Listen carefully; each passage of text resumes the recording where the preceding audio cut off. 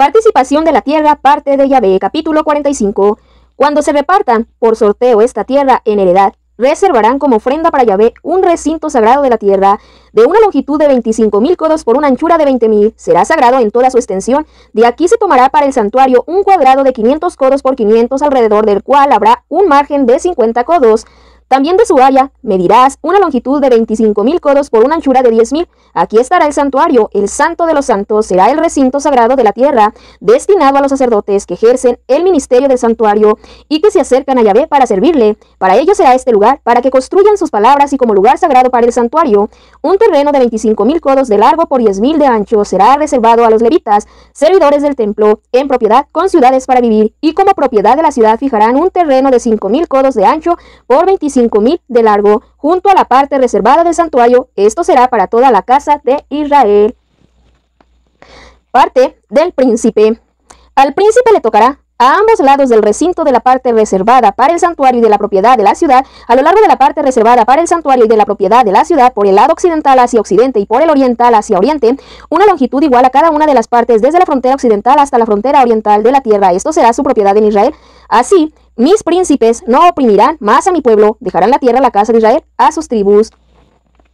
Así dice el Señor Yahvé, ya es demasiado, príncipes de Israel, desistan de la opresión y de la violencia, practiquen el derecho y la justicia, liberen a mi pueblo de sus impuestos, oráculo del Señor Yahvé, usen balanzas justas, una roba justa, una cántara justa, la roba y la cántara sean iguales, de suerte que la cántara contenga un décimo de carga y la roba un décimo de carga.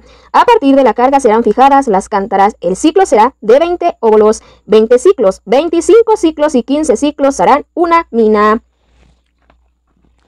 Ofrendas para el culto. Esta es la ofrenda que reservarán un sexto de arroba por cada carga de trigo y un sexto de arroba por cada carga de cebada.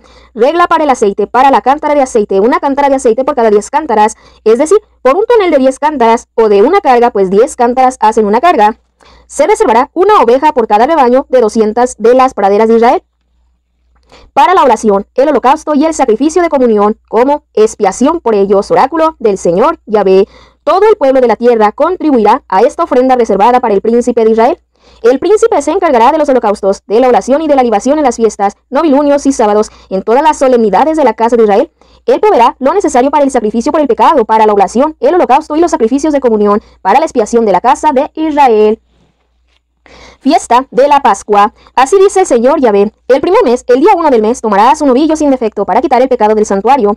El sacerdote tomará la sangre de la víctima por el pecado y la pondrá en las jambas del pórtico del templo, en los cuatro ángulos del zócalo del altar y en las jambas de los pórticos de la tribu interior. Lo mismo harás el día 7 del mes, en favor de todo aquel que haya pecado por inadvertencia o irreflexión. Así harán la expiación del templo. El día 14 del primer mes será para ustedes la fiesta de la Pascua. Durante siete días se comerá el pan sin levadura. Aquel día el príncipe ofrecerá por sí mismo y por todo el pueblo de la tierra un novillo en sacrificio por el pecado.